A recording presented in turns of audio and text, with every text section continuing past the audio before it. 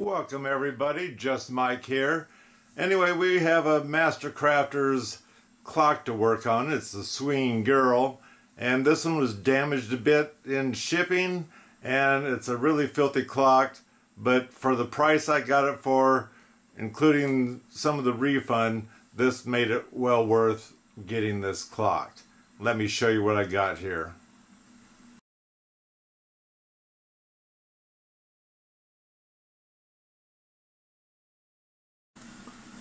So this is a clock I got. This whole bottom piece in the corner, and there's a piece missing. I couldn't even find it. Uh, I re-glued that back on for now. But I don't know if you can see how filthy this poor clock is, which when I get it apart, you'll be able to see. Now this clock will not run, and I did open it already just to take a look at it. This actually has the motor in it because you can see how this sticks out. And because of that I think I have a chance of fixing it. Now on this on this type of a clock if the girl will swing but the clock will not work there's a good chance your gear is wore out or broken there and it is pretty spendy to get it offline from this guy in Canada that uh, sells them. I think they're there. Let me take a look. You can get this off a line. I'm not being paid by them, so not, I don't care who they're from. You can figure that out if you want. But on here it tells you they're going to sell you that gear, a full one, not a broken one, for 35 bucks. And this is coming from Canada, so I don't remember if there's any more uh, on the shipping or anything to get it over to our side. So anyway, that's already telling you you got $35 more you're going to spend on your clock if that gear's broke to where the time doesn't run because it only operates the time and doesn't operate the swinging girl. So on the back here I need to take those screws out and those two nuts and when you're taking these two nuts off, you need to hold the front of your clock. This is supposed to be wedged in by this framework. There's a couple places you can bend it to hold it in, but some of them will just pop right out. Maybe because someone was already into it, I don't know. So hold on to the glass part and then you can take those two nuts out. So I just got those out. And now we'll pop this plate out.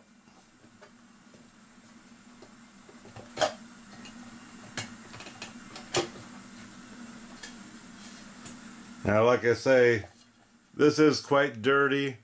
That there fence needs to come off and if I can't scrub it clean, I'm just going to paint it white again. And it's held on by, popped on there by those uh, we'll call them screws in the back side. They're kind of a triangle shape. But you can see it's kind of dirty. The background almost doesn't matter. It's nice to have it crisp I guess we'll say. But it is a vintage clock and so this is just your background noise we'll call it compared to the girl so let's take the girl off. And the way you do that is just pull her up and it comes right off. And as you can see, it's hollow on the back side.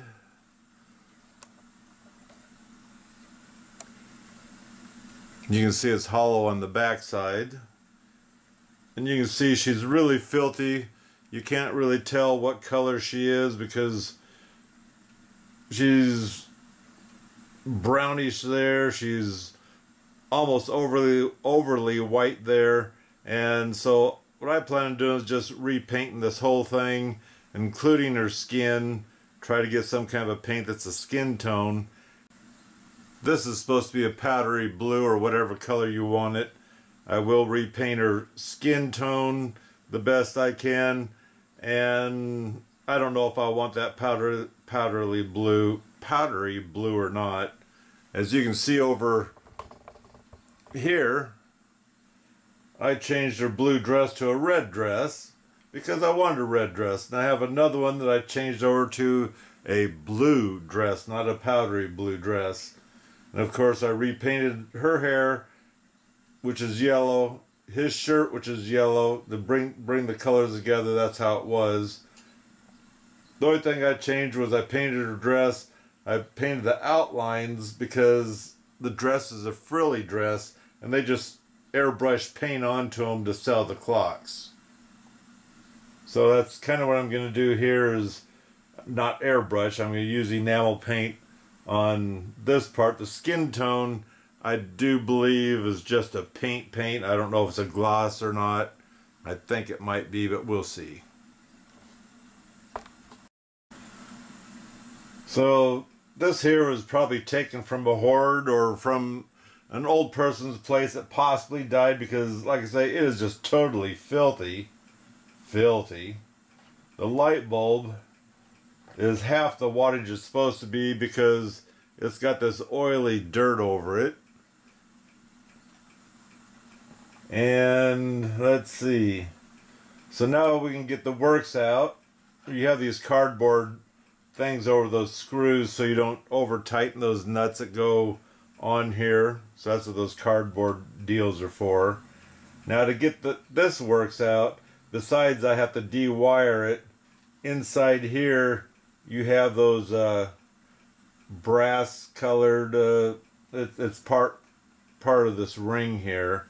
And when you get that out, then you have to release your dial. And from there, on the underside of the dial, there'll be a, a nut or screw that comes in and holds onto this plate here.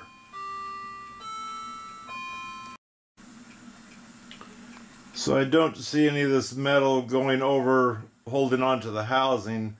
It just snugged in the hole. But this whole piece here is coming with it. So take it easy, but start pushing it out. And it should come out as an angle once you get it out so far.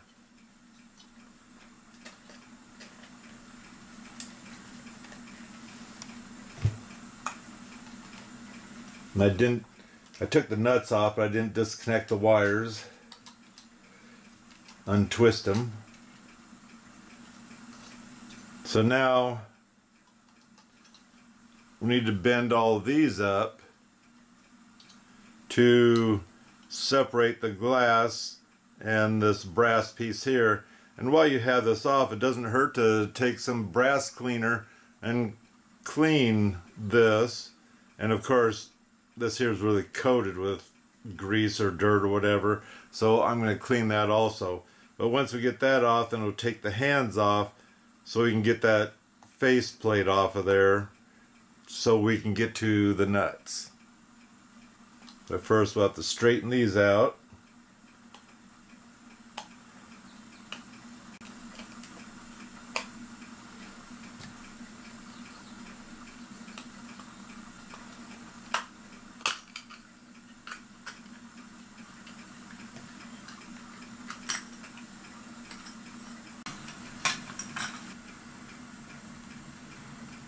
So the motor comes down through and on this here bar here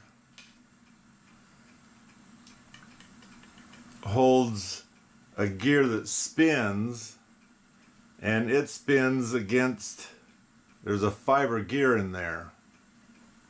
If you can see that in there or not. That fiber gear will fall apart on you so you don't wash it. And it's not that nice looking gear you're looking at right there that's the one that turns and makes the girl swing. It's but it's still run off that same rod off the motor that's in there, that brass piece. So anyway, we're going to try to get down to it, mainly because I want to clean this, but I am not going to get too close to that fiber gear. Okay, I pulled the hands off by my fingers, a little rough, but you can do it this plate has little divots to hold it in place for where it needs to fit without spinning around And I might be able to just pop this right off. Maybe I have to bend that a little bit. Yeah, just a little bit.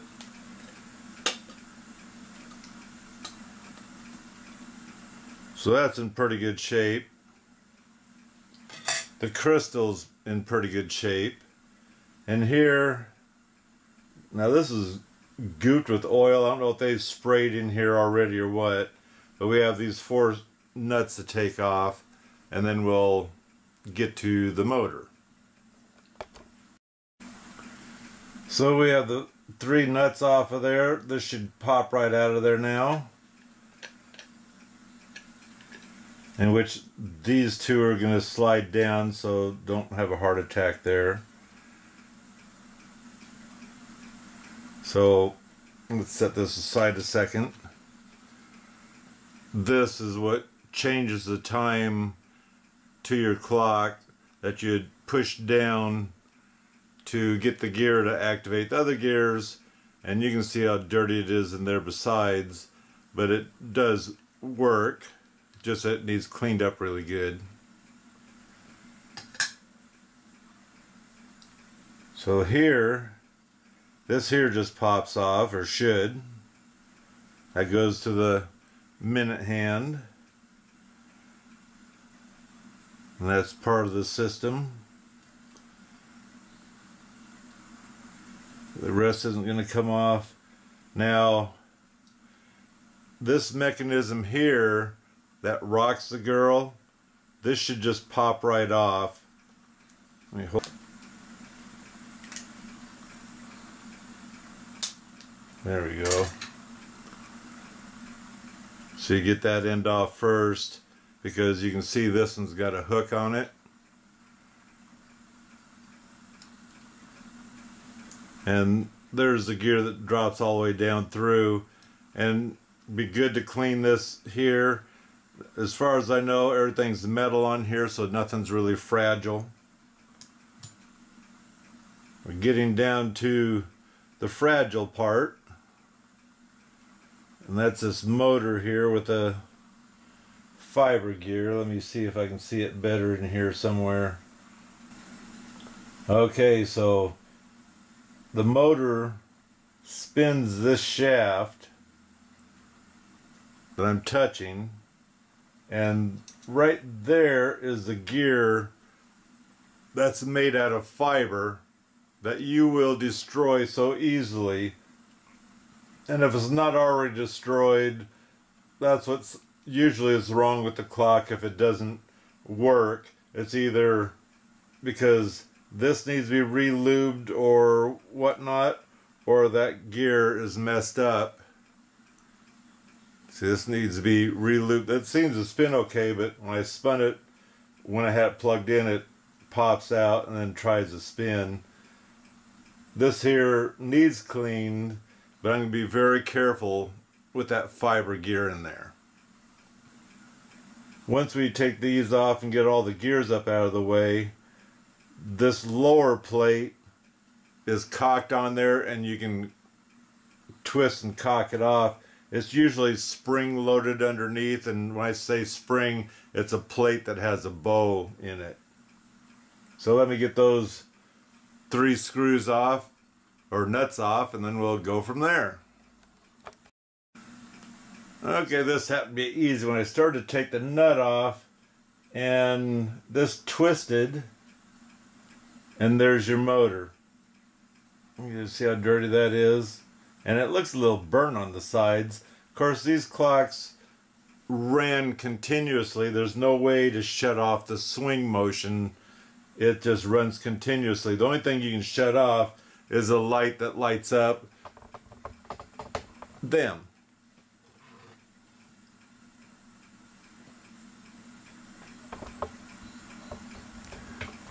So back to this clock, right there is that spring plate I was telling you about.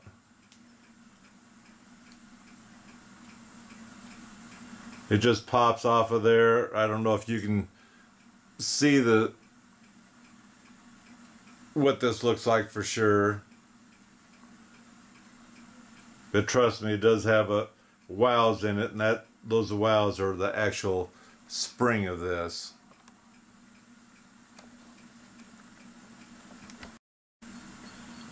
Now as for this motor, like I say, this here bounces up and down. And I'm going to try prying on this brass, uh, we'll call it a gear. I'm sure it's what it is.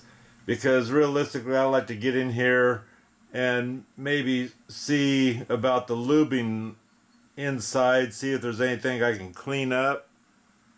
And if I mess up, at least you guys will know better not to do that. So like I said, I'm going to try to pry that off of there.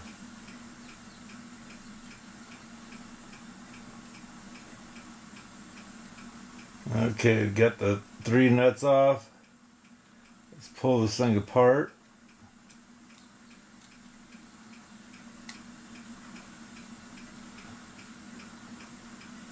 So there's a jewel that has that fiber gear I've been telling you about.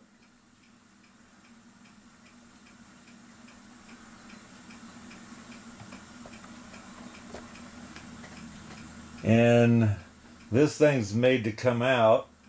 It's open on this end.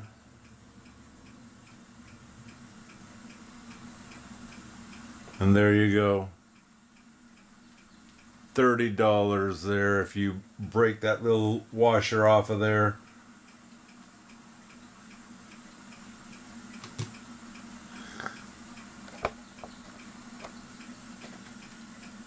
And then this gear comes off. So now you can put this in the parts cleaner. This one here, I will not. I will try, without hurting that gear, I will try to clean this up a little bit, but that's about it. I don't want to mess that gear up. And it does look good considering it being really dirty. For taking these off, you just have to pry underneath there. You're going to destroy the picture a little bit, but that's not even seen. And that is just a wash or a pin that's kind of expanded over. So the best you can do is get the smallest screwdriver you can get. Work underneath there, pointing towards the pin. You get it underneath there, and it'll pop right out. Now this does need a little bit of cleaning too. I'm not get carried away because I don't want to get this darkened picture ruined. And it seems like it's really in there nicely. It's not uh, bubbling up or anything else. So I'll try to clean this up a little bit too. Like I say on this here, more than likely, I'm going to run it through the sonic cleaner, but more than likely, I'm going to end up painting this to get it pretty white again. While I'm waiting for those parts to get cleaned, I'm going to go ahead and shine this up. I'm just using this to shine it up. So there it is. Not perfect, but it's shinier. Now this might have had a varnish coat over it because it was what we'll call yellow. And that came off, I'm going to guess, when I shine this thing up. If you want to leave it like this, which I'm going to, or if you want to try spraying some shellac or something on there, you go for it. It's your clock, but I'm going to leave mine like this. This here is a crystal, I guess we'll call it, compared to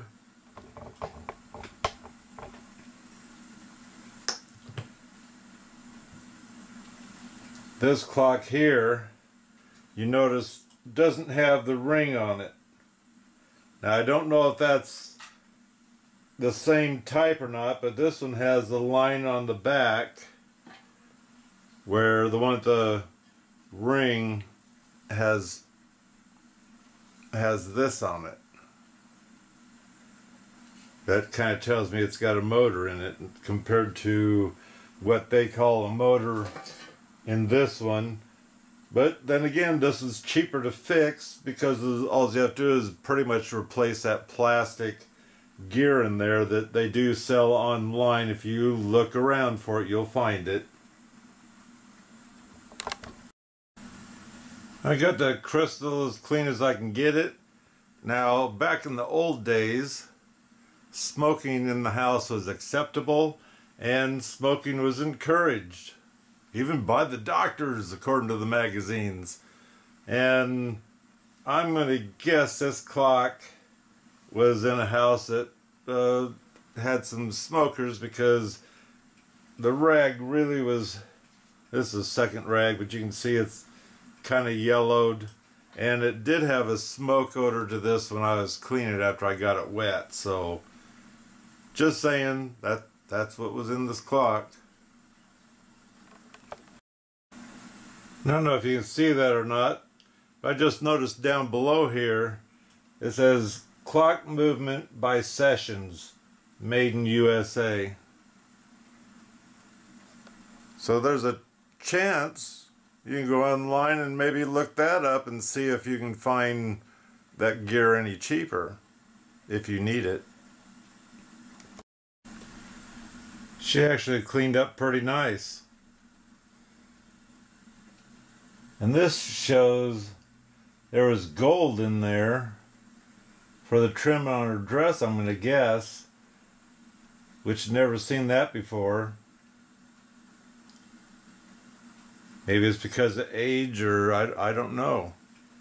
Then the fence is just a cream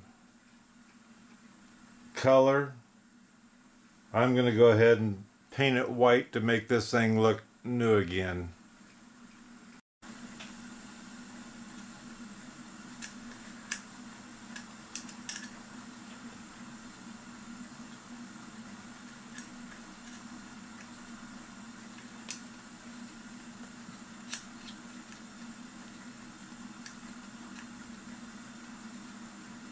Get that washer on top.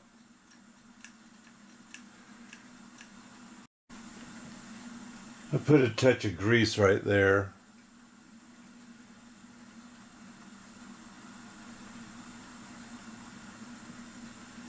This can very well be clock oil also, and which I'll probably go ahead and add a little bit of clock oil besides.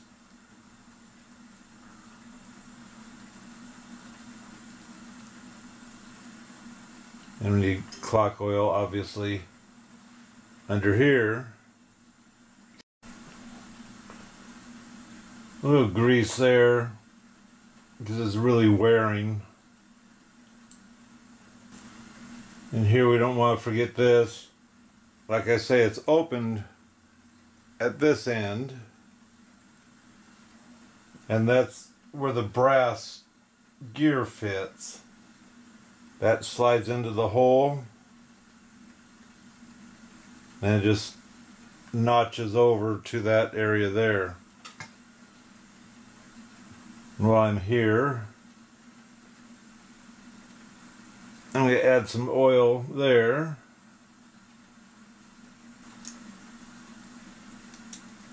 There we go.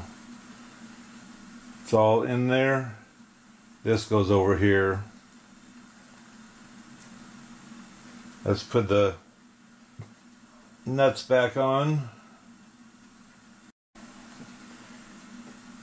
Now in the motor I went ahead and used clock oil inside here, right where the shaft is.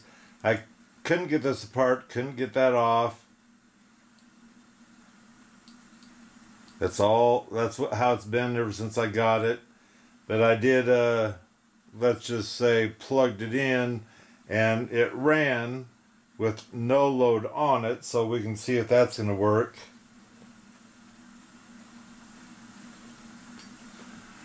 And give this a quick brush down.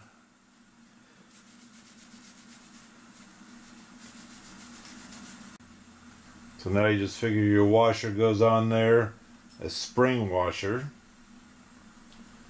Then it clicks into here, which I don't think it makes any difference which hole it goes in because it's squared, I guess we'll call the word. Just get it in, you give it a twist.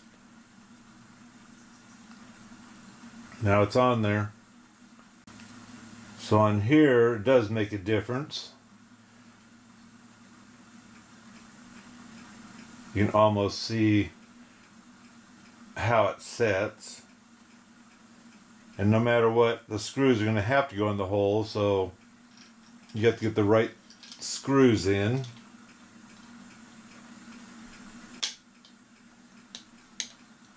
Which there you go. I'll go ahead and put the three nuts on and be right back. Now on this,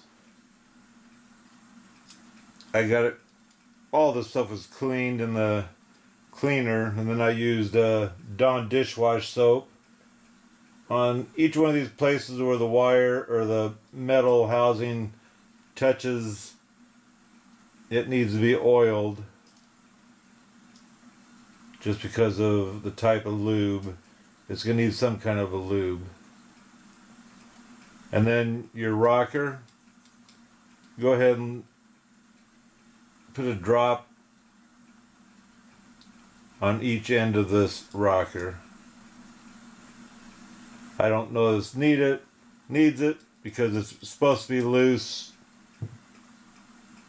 But oil can't hurt, right? So this didn't go that way. Let's see, this here's this gear goes in and touches the motor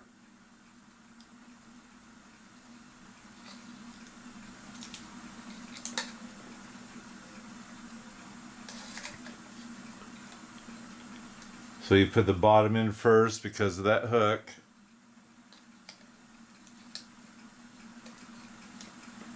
And then it just clips. You push it in and it clips into place. I scrubbed this down the best I could to get most of the grossness off of here. I printed some grass on photo paper I used tacky glue to give a couple spots on this piece of green metal and I'll cut this to size and just tack it in there so it looks a little nicer.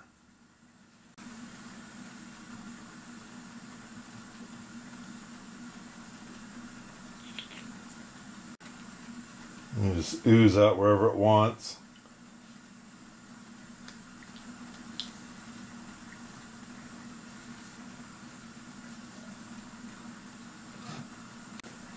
Now let that dry in there and it'll by accident maybe look halfway decent. So the next thing we need to do while that's drying is take our glass, make sure it's all in there, get our dial, and they have as you've seen the grooves in there for where this is going to fit. I didn't bend the bottom one so I put that one in first. Pop the top on and give that just a little bend down. It's not going to take much of anything. And that's going to stay there. At least I should hope.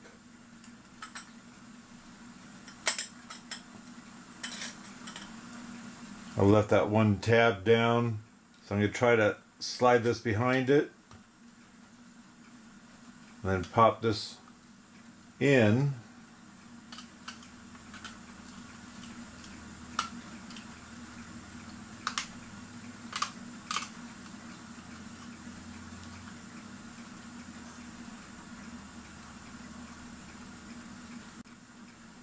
You take some of these and bend them down. Get the point to touch the we'll say the dial. And you don't have to do everyone. They had everyone done. That's up to you what you want to do. How often are you going to take this apart and clean it? Probably never again.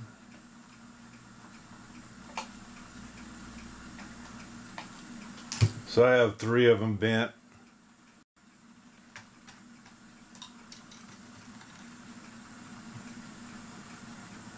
That way if it wants to fall out, it can, but it won't fall out going out the back. It has to do it from the front.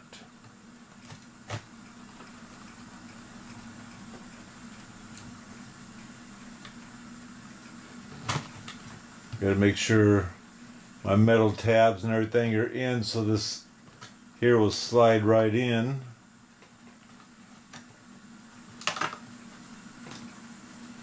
There we go.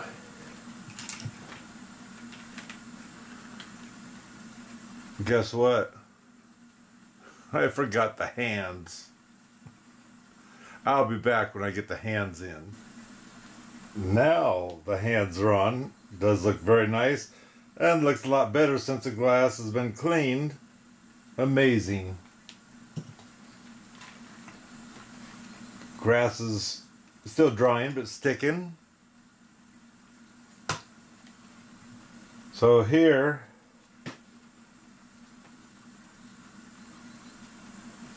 get things put away here a little bit. So I got it wired back to the wire nuts. Let's plug it in to see if it works. It starts right up. I don't even have to fool with it. How's this side work? Yep. Working. So the next thing we need to do is get the swing on. And I'm going to have to wash that light bulb. That is so nasty. I think it's clear, but it will be when I get done with it. So we can take the girl and hook her up to the wire or to the holes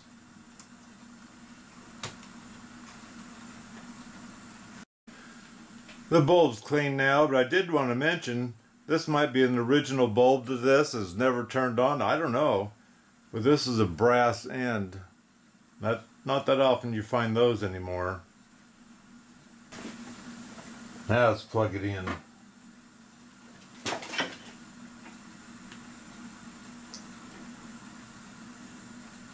Just start swinging right away. Before I show you that side again, let me get this back screwed on. Oh, we still have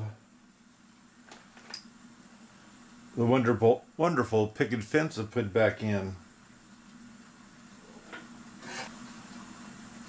And one of those things already popped out. i have to get it and put it back on.